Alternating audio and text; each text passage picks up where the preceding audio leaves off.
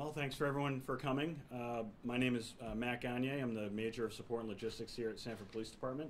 I'm just going to give you kind of a little uh, brief outline and then I'll turn it over to Paul Auger.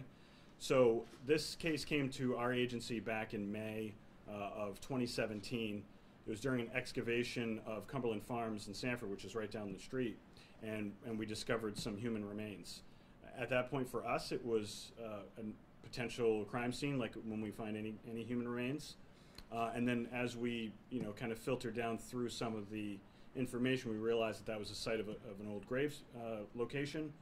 And then it was trying to figure out what the origin story of the person that was buried there. We then, you know, were able to, you know, have a lot of help from Paul Auger, which I'm going to turn this meeting over to uh, uh, next. And he'll kind of give you the story from when we left off uh, with that information, and then uh, Paul kind of took the reins from there. Thank you. Thank you, Major Gagne, and uh, his name is M-A-T-T-H-E-W and G-A-G-N-E with an accent on the E, if you want to spell it correctly. So, my name is uh, Paul Auger. It looks like Auger, A-U-G-E-R. I'm a former police officer here at Sanford PD. Uh, I'm also a member of the Sanford Historical Committee, and I'm currently a teacher at Sanford High School in my 25th year of teaching social studies, and I was recently asked to become the official um, historian for the Sanford Police Department. So this is all kind of coming together pretty well. So our, our story, uh, the most recent part of it starts in 2017. Uh, well, actually, we'll go back a little bit further. Uh, the first dedicated Sanford High School was built at the corner of Main and Emerson Street. And when it became overgrown, uh, there were too many students there. The, the school, by the way, was built right next to a burial ground. Because who's going to complain, right? And when they built the next new Sanford High School, which is now the Willard School on Main Street, the old Sanford High School became Emerson Grammar School. And having a grammar school, you would like to have a playground, but there is no place to have a playground because there's a graveyard next door. And then in 1903, uh, Thomas Goodall's son Ernest built a, and was part of a committee, he built a beautiful new cemetery featuring rolling hills and a bridge and a little waterfall uh, not very far from here. And it was much nicer than the old style burial ground. So people generally stopped being buried at the, the graveyard on Main Street and they were all being buried at the new one called Oakdale Cemetery. And in the 1930s, it was decided that we really should, that the town should buy all those properties, get quitclaim deeds, uh, all those graves, and have them moved to the new beautiful Oakdale Cemetery. And according to the Sanford Tribune, they did move everyone. Uh, there were, I want to say, at least 50 bodies that were moved, maybe 70. And they had a list of the bodies that were moved. That is something that we worked on, uh, one of our first hints. So Emerson School ends up uh, becoming the oldest elementary school in use in the state of Maine. It was literally built, I believe, 1901. It was dedicated, and it was very high on the state's list to replace. So, Cumberland Farms, which was across the street, bought the entire area.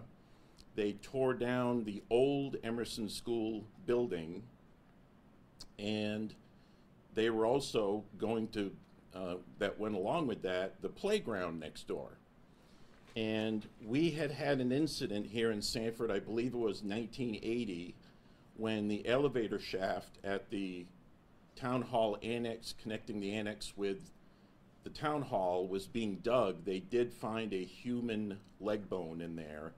And the state police came, it was quite exciting until they discovered that that, that was actually a, an old cemetery too that they had been digging in. So, having seen this happen before, when the when the foreman was on scene one day, I went to him and told him that, and I pointed out in this particular area there was an old cemetery here, and it would be great when you're excavating if maybe you could just keep an eye out as you're removing dirt because you might find somebody they missed. They weren't supposed to miss anybody, but you know, it's happened before. And I have to give the foreman credit, that's exactly what he did. So one day they were excavating in what's now the rear of the building, and he caught a glimpse of something shiny and what looked like a human bone. So he stopped what he was doing, he called the police department, and that's when Sanford PD got involved. And I happened to be driving by, I don't know, 30 minutes later by coincidence, and I saw a giant circle of police and firefighters and construction people looking down at something, and I immediately knew what had happened. so uh, I worked with our, our wonderful police department and our city manager, Steve Buck, who deserves a lot of credit. And it was determined, we, you know, we called the medical examiner's office, and it was kind of unusual. They weren't really interested in this case as a priority because it's an unknown person, but it's a known burial in a known burial place. So it's not really a priority for them to do this. And I was, my fear was that this person would just be reburied anonymously and we may never know who it was or have any trace of them. So uh, I've done extensive genealogy as uh, many many of you have probably as a hobby, but I'd never worked with a DNA case before, so I had a big learning curve. Um, Major Gagne helped me a lot, and we ended up. Uh, I uploaded the the DNA that we had done by a company to uh, GEDmatch. Yeah, GEDmatch uh, G-E-D-M-A-T-C-H, and you've probably heard of the site. It's where a lot of law enforcement agencies have found success in cold cases. And I was able to find some distant relatives, but this person's death was so far back in time for me that I just couldn't, felt like I wasn't getting close. I was treading water. So we did some more research, and that's when I discovered the DNA Doe project. And my goodness, it was tailor made for what our situation was, except I thought the case might be too old.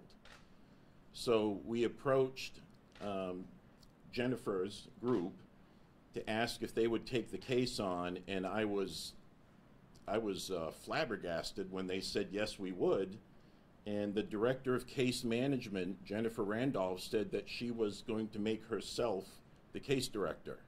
Well, my goodness. Uh, so that's where that part of the story goes. And um, I want to answer a, few other questions earlier on here. Um, it did take a long time. Uh, one reason was this is technology that I was not familiar with, and some of it was brand new technology. And one of the attempts we made at uh, pulling DNA from the remains did not work. And the second attempt did work, but that attempt, we had to wait quite a while because it went to a lab, uh, Marshall University, that typically just does homicide cases. And we waited quite a while, and I got this wonderful email from them saying, We can take your case now, right out of the blue. And I was really excited. So uh, we went through Marshall and another place, and, uh, and then there was a giant, we had meetings on Zoom with the DNA Doe people. They're extremely organized.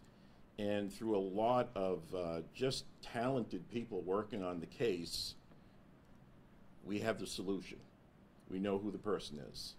And actually, I'm going to let Jennifer Randolph uh, mostly take over here because without her group, I'm not sure if we ever would have found out who it was. Thank you, Paul. And you'll help You me want to with. spell, spell your name? I too? will, and you're gonna help me with AV stuff. Yes. Good afternoon, everybody. Uh, my name is Jennifer Randolph, J E N N I F E R. Randolph is R A N D O L P H. Um, I would like to just start off by saying that we at the DNA Doe Project are so appreciative that the City of Sanford is Sanford Police Department and Paul uh, entrusted us with this case um, and also invited us to be with you here today. I'd like to just briefly introduce our organization to you, uh, who we are and what we do, just to give you a bit of context. Then I would like to describe how it is that we were able to identify Woodlawn Cemetery Jane Doe. And then lastly, I'd like to share a bit of this doe's story with you. I want to bring her to life for you all in the same way that rese- researching her brought her to life for us. So, the DNA Doe Project. We're a nonprofit organization with a simple humanitarian mission to return names and identities to the tens of thousands of does throughout the United States and Canada. We do this, as Paul mentioned, by using investigative genetic genealogy. This is a relatively new technique that combines the power of DNA with genealogical research. We have over 75 dedicated genetic genealogist volunteers who work for us, and they donate their time and talent to our cases. To date, we have returned names to almost 100 does. Our investigative genetic genealogy services are provided to our partners who are more typically law enforcement agencies, medical examiners, or coroners uh, pro bono. We want every doe to have a chance to be identified, and we don't want cost to be a barrier to that opportunity. Well, this case is a bit different than our typical cases because we do know that at one time, uh, Woodlawn Jane Doe did have her name. Uh, it's also true that as of 2017, her identity was essentially disappeared. We didn't know who she is. And since we as an, since we as an organization believe that every individual deserves the dignity of being remembered by their name in honor of the value of their life, we were happy to assist the City of Sanford to solve their mystery. We can now tell you Woodlawn Jane Doe is in fact Miss Edith Patten. We know she was born about April 1867, likely in Somerset, Maine. We know she lived there when she was three years old because of the 1870 census. She's the daughter of Ferdinand Weston Patten and Lois Stinchfield. She, she died November 12, 1891, here in Sanford from consumption, which is most likely tuberculosis. So, how did we find her? I'd like to explain a little bit about the DNA piece. Thank you, Paul. Yes. We began our genealogical research in mid May of 2022 with the upload of this doe's profile into a database that we are allowed to use for this kind of work, and that is GEDmatch Pro. Pro GEDmatch Pro is the side that law enforcement can use. Uh, GEDmatch is what consumers use. So a lot of people who test with direct-to-consumer companies like Ancestry or 23andMe can download their raw data if they so choose and upload it to this database. So it's a way that genealogy enthusiasts can compare themselves to other DNA testers regardless of where they tested.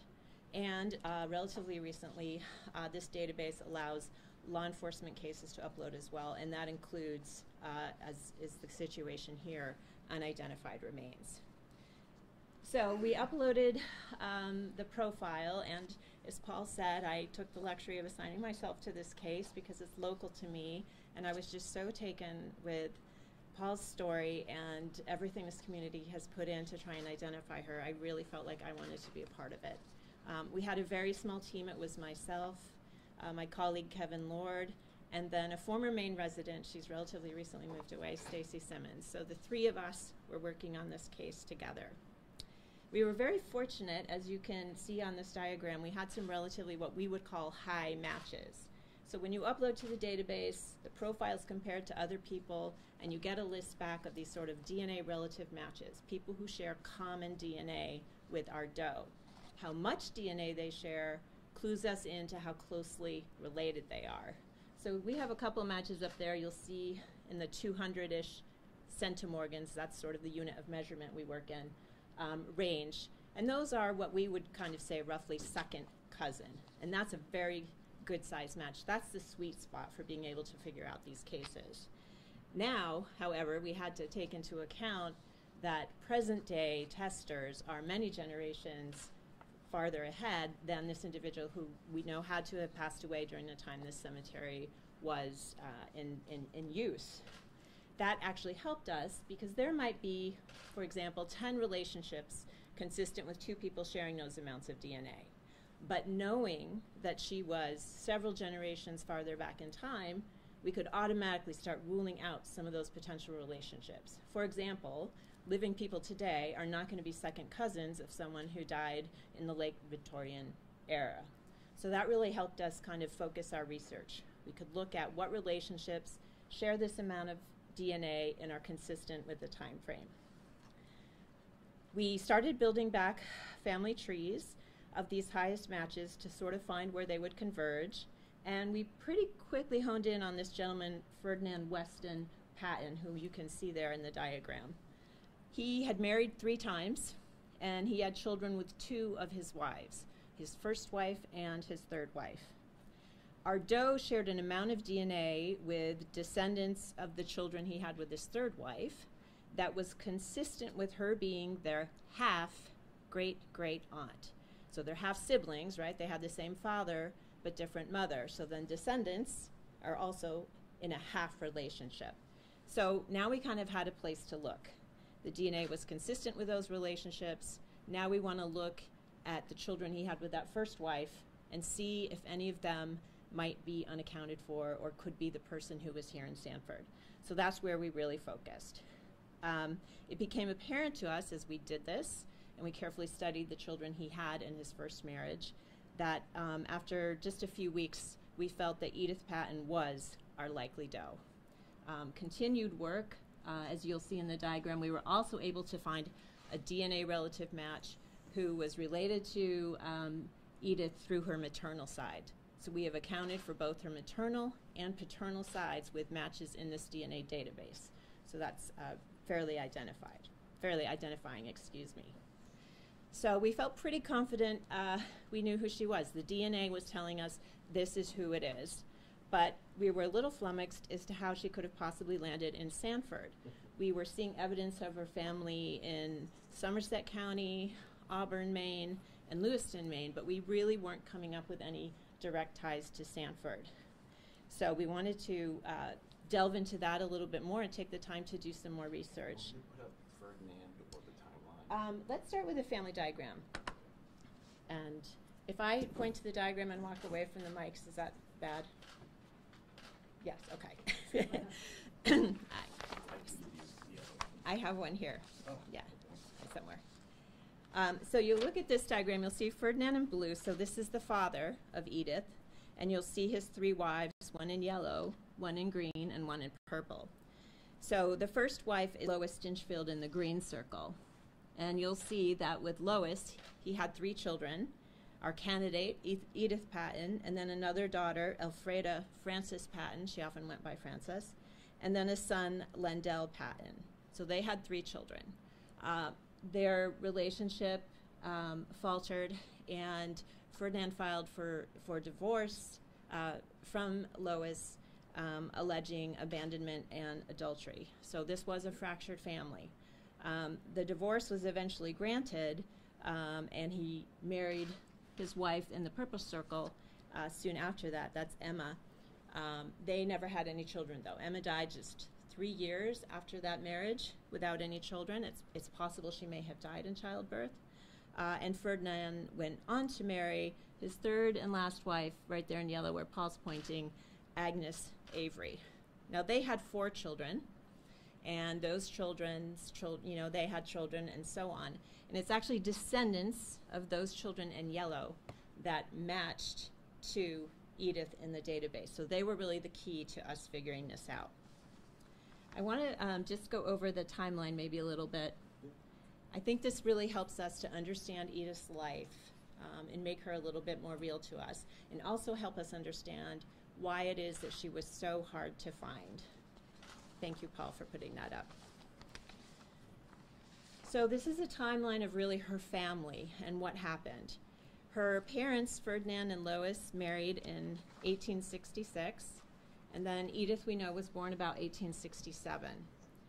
A little while later, in 1870, we know from the census that her sister, Elfreda Frances, was born.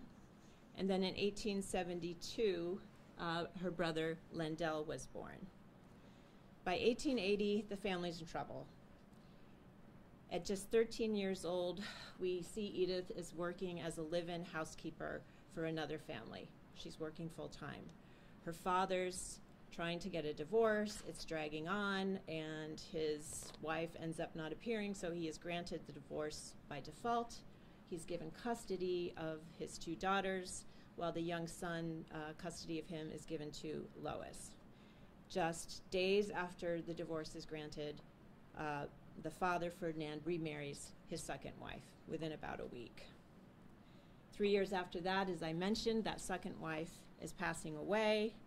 And in 1884, the following year, he's marrying that third wife, Agnes Avery. Um, in 1885, uh, he starts having children with his third wife. So these would be half siblings to Edith. He has Arthur, who was born in Lewiston, Maine. In 1888, another half brother named Ernest is born in Lewiston. And then in uh, 1899, going back to the first wife, so this would be uh, Edith's mother, Lois and her brother Lendell, we find them living together in Lewiston, Maine. So they have stayed together in Lewiston. Lendell is a shoemaker at this point. But in 1890, uh, Lendell dies in Auburn, Maine. Edith, and we'll get into how we know this in a second, dies here in Sanford in 1891. Show that. Yes. Paul's gonna. And this will be hard for you to see, but I'm gonna read it to you um, in a moment. So we see um, in 1899, uh, Edith's father has his first daughter by his third wife and names her Edith. Again, it's probably homage to his dead daughter and support supporting the fact that we have the right Edith, um, naming his his own his uh, only daughter with his third wife after his deceased daughter. By 1900, Edith's mother Lois, um, and this was actually key for us. And um, the 1900 census asked a very interesting question of women. It asked them, "How many children have you had?" and of those children, how many are still living? This was really a vital clue to our investigation. In that census, uh, she reported, so this is Edith's mom, that she had borne three children in her lifetime, which we knew from the divorce uh, documentation, the court records, but that only one survived. We knew from looking around that Frances, that middle daughter, was still alive and we knew that Lendell, the brother, had died. So by process of elimination, we know that by 1900, Edith is also deceased. So this is all um, supporting what the DNA was telling us that it's Edith Patten, and she had was deceased by 1900. Uh, in 1901, Mother Lois herself dies in Auburn, and then father Ferdinand Patten he ends up dying in Augusta with dementia in 1909. And that sister, who had been the one surviving child, uh, she dies in Boston in 1917. We still wanted more concrete proof that Edith, the DNA is pointing to Edith. We know she's deceased by 1900, but we wanted to really get her here in Sanford. Unfortunately, there aren't great uh, death records for the appropriate time period in Sanford. And the 1890 census, which would have been very helpful if perhaps she was already here, uh, would have told us what she was doing here and where she lived, um, that was destroyed in a fire. I believe it was back in the 20s, 1920s. So we don't have that resource. So that leaves a big gap we had to figure out.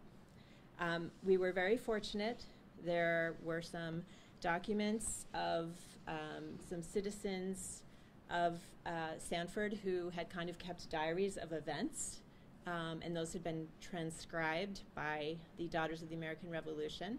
Um, really, just kind of a calendar, you know, so and so was born, so and so was born today to this couple, et cetera, et cetera. And leafing through that one day, um, I stumbled across an entry where he said that Edith Patten died today. So then we had a date, and we had an Edith Patten dying in Sanford at the right period of time. And this gave us what we needed to search in newspapers. And this is what you see here. We were able to locate um, mention of her death in a newspaper. And let me just find that for you. This is from the Biddeford Daily Journal, dated November 25th, 1891. Miss Edith Patten died of consumption last Thursday, aged 24 years and seven months. She was beloved by a large circle of friends who sincerely mourn her untimely death. Notice that there's no mention of any family there. She's not described as being the daughter of anyone, um, just that she had a large circle of friends. Again, um, an indication that she was in Sanford, likely without any family with her. Um, it's possible she came here to work at, at one of the mills, I think. Um, her father worked in a sawmill and then textile mills historically, so that would have been an occupation she was familiar with. Um, the conditions working in different mills um, are conducive to the spread of tuberculosis, but that is all just speculation. Uh, we really don't know. We really don't know for sure. So that gives you a little bit of a sense of her life. She, she clearly was a hard worker, working from a very young age. She came from a fractured family. Um, divorce wasn't that common then, and this was clearly not a friendly divorce given the allegations that were thrown out uh, between the spouses. But we know she's a good friend. Um, sounds like she was social and, uh, as it says, beloved by a, a, a large circle of people. So our Woodlawn Cemetery Jane Doe has gone from essentially being invisible, and I say that because she was in so few records. And if you looked online at family trees that people put up um, for the public that you can see, you would often see trees that would have her parents, her brother, and her sister, but she was never there. There was just so little connecting her to this family. You know, she was in one census document where she was with that family as, as a three year old. And, you know, of the commonly uh, accessed documents, that was really it. Unless you were diving into court records and found that divorce uh, uh, documentation, you really wouldn't have known any much about her. So she was rather invisible, and I think that's probably part of the reason why uh, no one was looking out for her when these burials were removed. We don't even know if she ever had a marker. You know, would, would her friends have been able to buy that for her? Perhaps not. So she was invisible then, um, and with, you know, as thinking back to our mission, it's so important that people's lives are recognized, their stories are known, and they matter. And here we are, some 130 years after her death, um, and Edith, who's been invisible and unidentified here since 2017, is now going to be featured in press all over the place and in the history of Sanford. Uh, and I think that that's a pretty happy ending for Edith. And it's also um, a great tribute to how caring the people of Sanford are. Thank you. And before we go to questions, I'd like to uh, thank a few other people and get to one other point. Uh, a very important person in this entire thing was City Manager Stephen Buck. I I don't think we could have done this without his assistance and dealing with the district attorney's office and the uh, medical examiner. Pete Smith from the highway department, uh, both of them came to the scene and and wanted to help. And we, we needed a sifter to go through materials because none of us had ever done this before.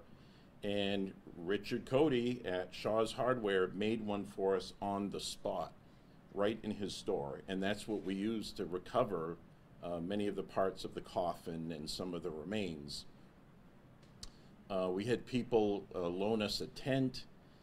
Uh, I also need to thank my son Andrew, who was uh, back in junior high school and got a day off from school to exhume a body. That was very exciting for him.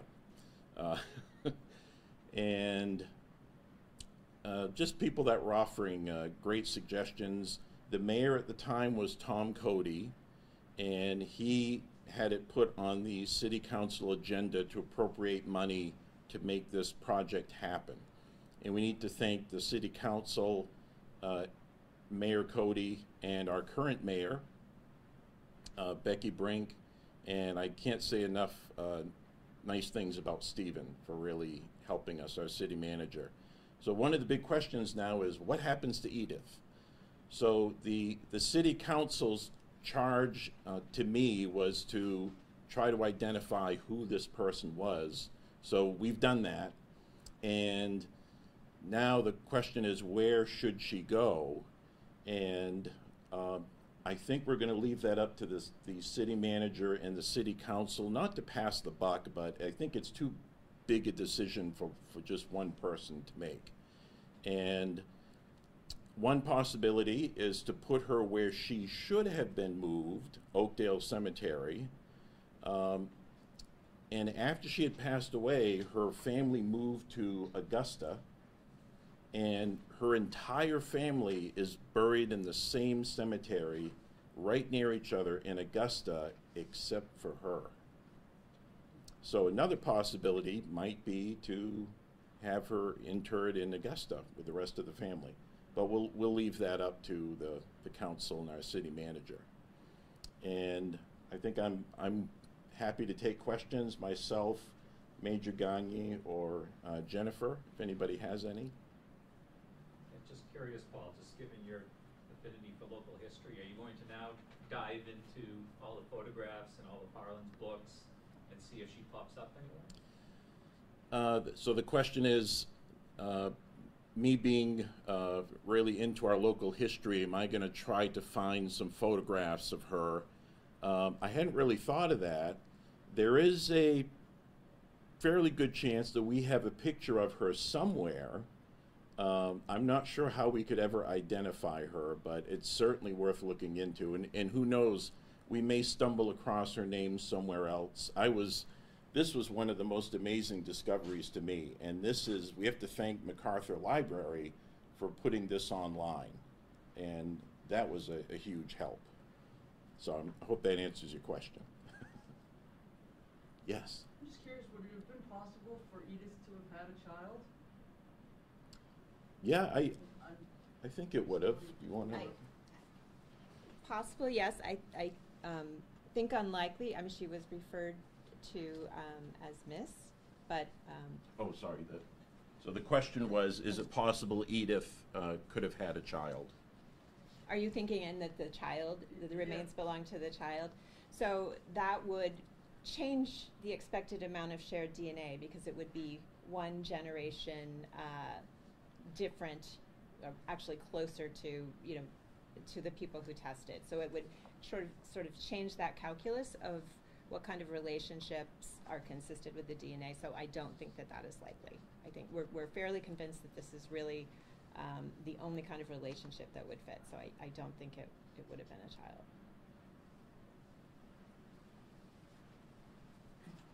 Yes. Just clarify what um, journal that was from in 1891, was it? It's, um, sorry. Oh, that's okay. So uh, there's a question about what exact uh, news source this was. That is taken from the Biddeford Daily Journal, uh, and it was uh, the November 25th, 1891 um, edition. And they did, as many newspapers did in sort of the heavier urban areas, uh, they did cover Sanford News. And this is the predecessor to the Journal Tribune. And it's same, same company. Yeah. Cool. Thank you for clarifying. Any other questions? Paul, you've been working at this for nearly six years. Could you give us an idea of just how how many estimated hours you personally invested? Oh, boy. into- Um, this question is, how, how many hours have I spent on this? Um, first, I tell you that I don't count, and I kind of don't care. it's, uh, it's something to me that's so important and creates such a drive in me to, to do justice for this person that, you know, I don't know if, if it was 50 or 75 hours, that wouldn't surprise me at all. It it could be more. And uh, our DNA folks, if you collectively added up their hours, I'm sure that would be quite a bit too.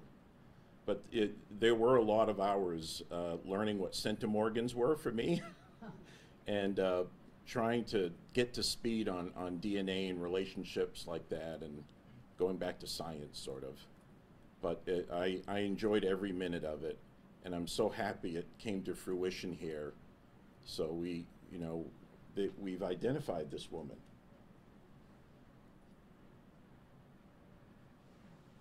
Any other questions? Okay, I'll, I'll, I'll hang around. I'm going to be free here. And uh, I think the major can stick around and Jen, and we've got um, some better copies or different copies of the posters that don't have as much glare. And uh, thank you for coming and thank you for uh, being interested in Edith's story. I, I think she deserved this. Thank you.